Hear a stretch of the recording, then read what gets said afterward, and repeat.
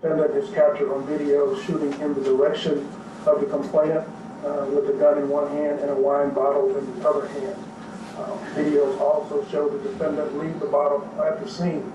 Uh, A a video from a different location also shows him close range, still in possession of the weapon, uh, before reappearing on the original scene uh, and then fleeing in a vehicle.